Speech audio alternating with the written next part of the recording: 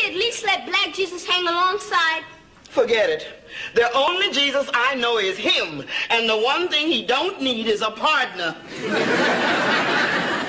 Mama, how do we know Jesus wasn't black? He could have been from the lost tribe of Israel. They were supposed to be black.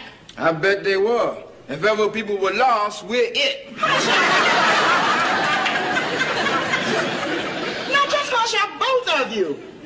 This picture has been in my family for as long as I can remember. When I was a baby, I don't know what I saw first. My mama, my papa, or this Jesus. Now, he's the one I know and love, so let's close the subject. Jesus was black, the Bible would have said so. But it does say so. What are you talking about? I read about it. Um, it's in Revelations chapter 1, verse 14. I read about it in Muhammad Speaks. It says, um,